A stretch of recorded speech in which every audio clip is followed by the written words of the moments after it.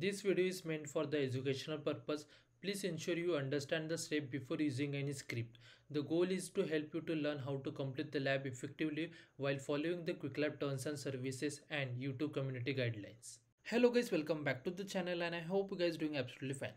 In this video, I'm going to guide you through the process to complete this lab and help you to understand each step. First, log in with your QuickLab credentials and once done with that, in the description box of this video, I have shared the GitHub link which will help you to automate some tasks over here. However, I will recommend you to follow along and understand what each command does so you can learn the process effectively. I will encourage to open and review the script to understand each step. So first of all, just scroll down over here and from here just me open this link in incognito window over here. This will activate your cloud shell. So just wait for that and then click on this got it over here.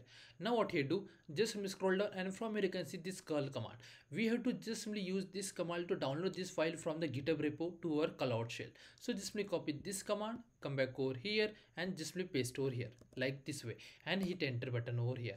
Once you're done with this command if you just run this ls command from here you can see this file over here.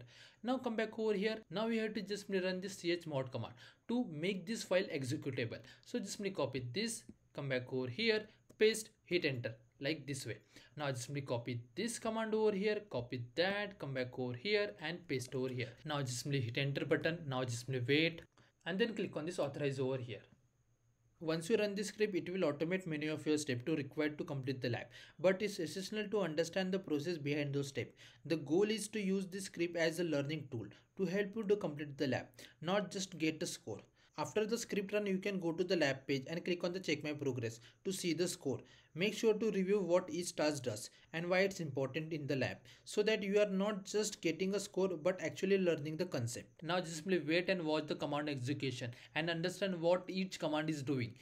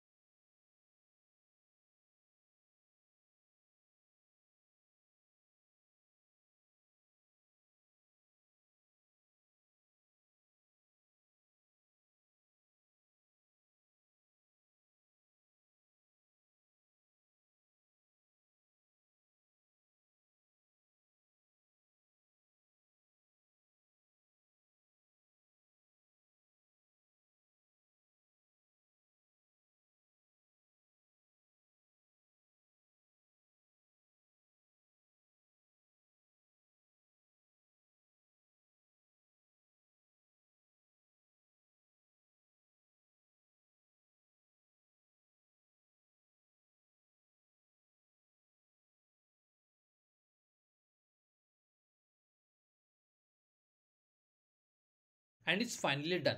Now if you come to the lab instruction and click on the check my progress for the task, you will get a score for sure. And if the score is not updating, just wait for a couple of minutes. Meanwhile, you can just go through each and every task and understand what you have done on this particular labs over here. Once you get a score on each and every task, after that you can just end the lab. Just make sure that you have learned the concept of this particular lab. And that's it for this video. If you have any doubts or any question, please let me know in the comment section. I will help you and clear your doubts. Thanks for watching and have a good day guys. Remember, this video is for educational purpose. Please make sure you understand the step and follow the Quick Lab terms and services and YouTube community guidelines.